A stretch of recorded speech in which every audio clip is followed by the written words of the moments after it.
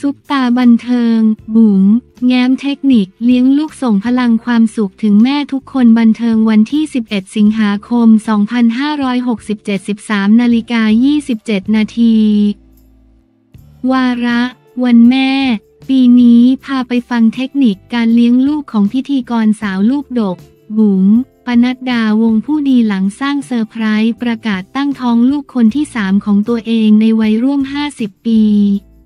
นอกจากนี้ยังมีลูกติดของสามีอีกสามคนและลูกบุญธรรมอีก 9 คน รวมมีลูกทั้งหมด 15 คนที่อยู่ในความดูแลของเธอตอนนี้มีลูกกี่คนแล้ว บุ๋มลูกที่คลอดเองตอนนี้สามคนลูกของสามีอีกสามลูกบุญธรรมอีกเก้ารวมแล้วมีลูกทั้งหมด 15 คนเป็นชีวิตที่สนุกอบอุ่นแช่มชื่นหัวใจไม่เหงา ตั้งแต่มีลูกเข้ามาเราเริ่มมีสิ่งที่เราได้หวงมีสิ่งที่เราได้ทำ มีพลังใจเวลาเจอปัญหาจะบอกตัวเองว่าถอยไม่ได้ เพราะมีลูกที่ต้องเลี้ยงมีคนที่ต้องรับผิดชอบ เราต้องมีชีวิตกลับไปให้ได้ลูกคนแรกของเราคือ น้องอันดามัน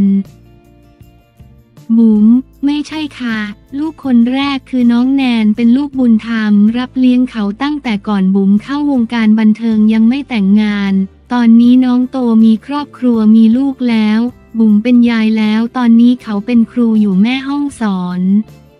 นั่นคือจุดเริ่มต้นของการได้เป็นแม่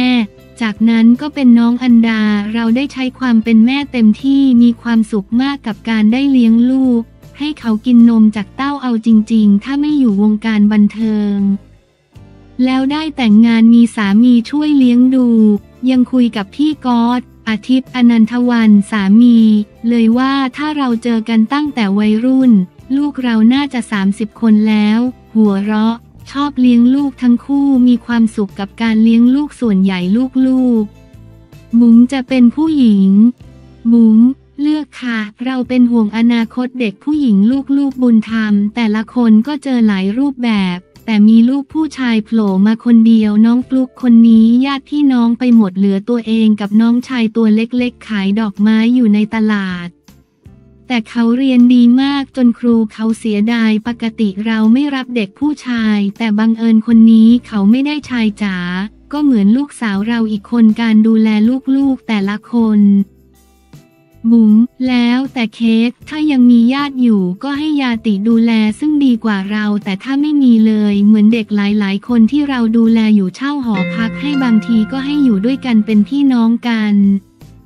แล้วเราจะมี group LINE คุยกันใน gen แรก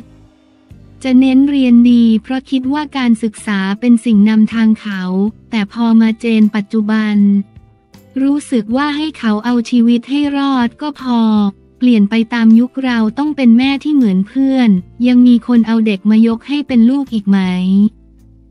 บุ๋มมีแต่บอกว่าไม่แล้ว เพราะลูกคนเล็กตอนนี้เพิ่งอยู่ 0.3 รับมาตั้งแต่อยู่อนุบาลแล้วน้องอยู่เชียงราย บุ๋มกังวลว่าถ้าเราเป็นอะไรไปก็เข้าไปคุยกับท่านเนววชิระเมธีฝากให้ดูแล ซึ่งท่านก็รับปากช่วยดูให้ ส่งเรียนถึงปริญญาเอกเลย มาที่น้องอันดามันบ้างดูแลกันยังไง บุ๋มตอนนี้เขาเป็นนักศึกษาแพทย์ปีหนึ่ง เริ่มเห็นอนาคตชัดเจน สิ่งที่ห่วงคือกลัวเขาจะเรียนเครียดเกินไป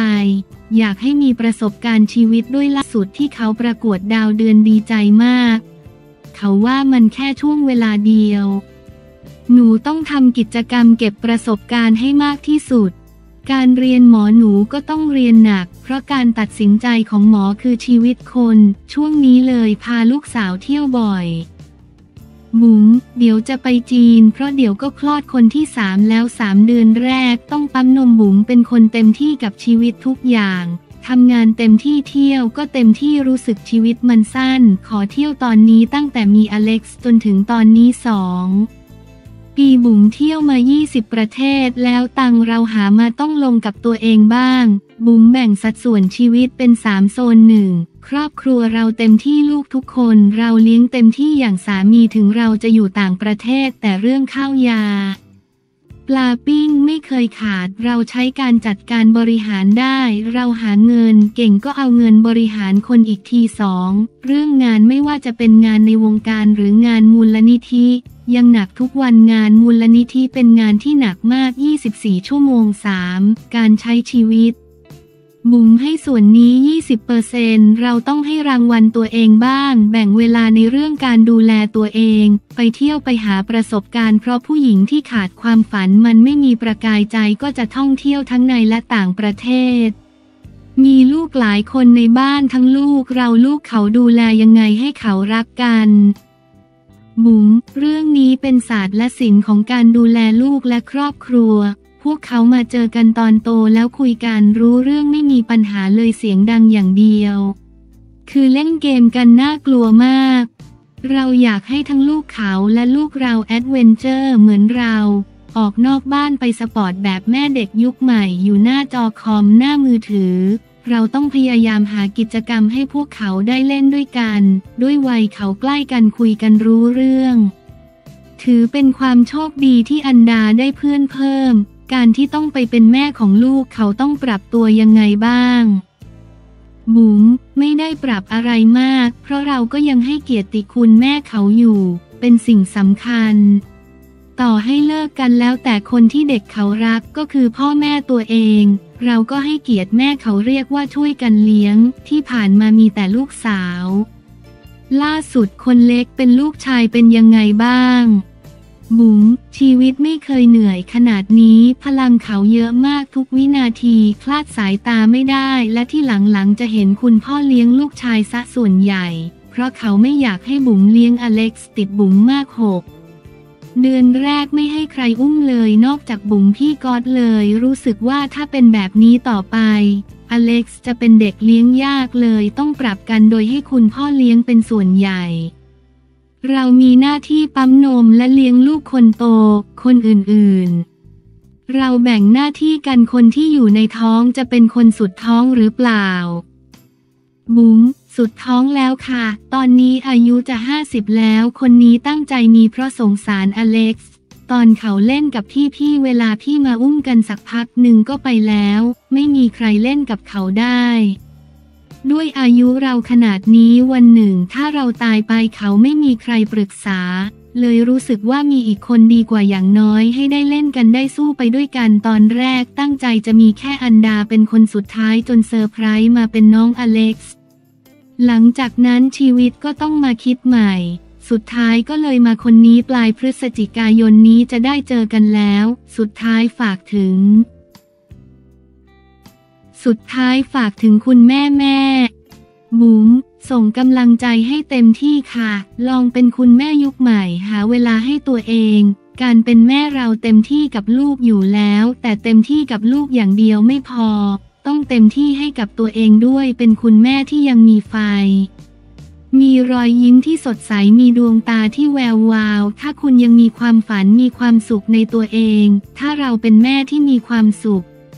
ลูกเราจะมีความสุขตามดังนั้น อยากส่งพลังความสุขให้คุณแม่ทุกคนค่ะ อนงจันทร์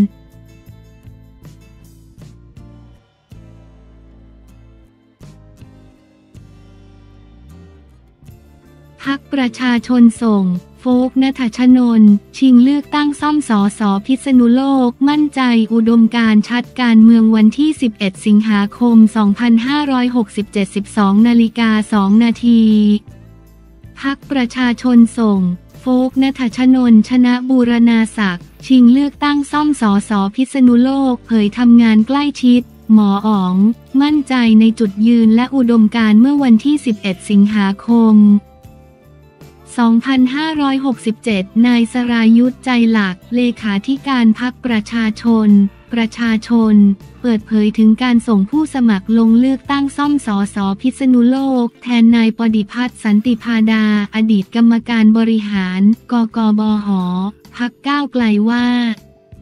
กกบหได้มีมติให้ส่งผู้สมัครรับเลือกตั้งซ่อมสอสอพิษณุโลก เขตหนึ่งแทนตำแหน่งที่ว่างลง และให้คณะกรรมการสรรหาผู้สมัครดำเนินการสรรหาตามข้อบังคับพัก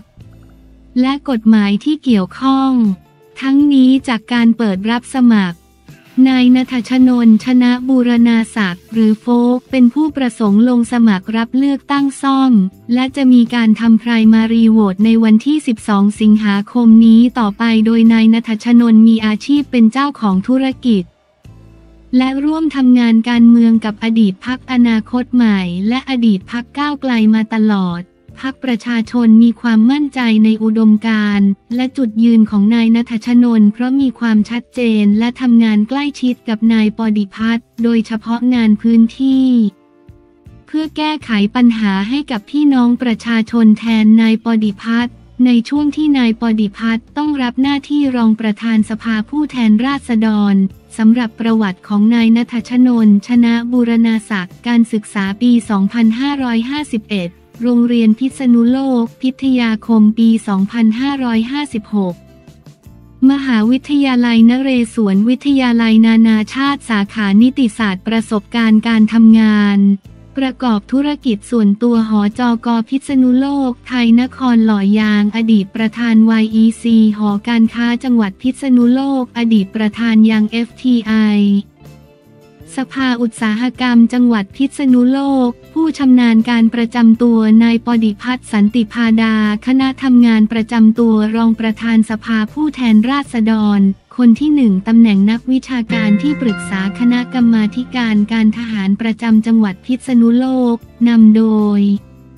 นายวิโรธลักษณาอดีตสอนสอสอบัญชีรายชื่ออดีตพักก้าวไกล